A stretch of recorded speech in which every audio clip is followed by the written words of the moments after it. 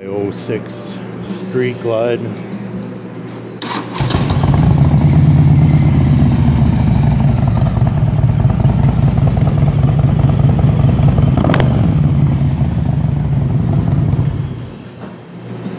It's got Screaming Eagle exhaust. Gonna attempt to pull the baffles. So I pulled these three screws out. You can see I pulled it out a little. I gave it a little hit with in with a hammer. And then I vice gripped it.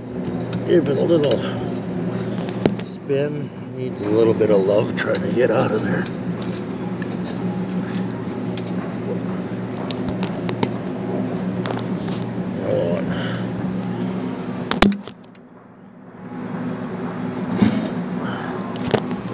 Gave it a good half a turn. Slide the whole thing out. Done. Oh, I'll start up in a second. So I got them both out.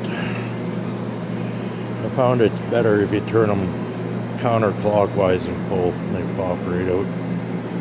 The problem is I don't have anywhere to put my screws to hold my tips on, but Just gonna put some bolt nuts with lock nuts on it. See what it sounds like now.